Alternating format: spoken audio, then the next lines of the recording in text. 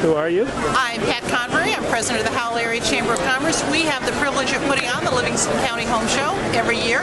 This is our 47th year, and it's almost noon here on Saturday, and the place is jumping, and people are doing business, and they're making their their uh, home improvement dreams come true. Meanwhile, a whole gang of people are across the way at the cafeteria eating some of the best food in Livingston County at the Taste of Livingston. So come on out and join.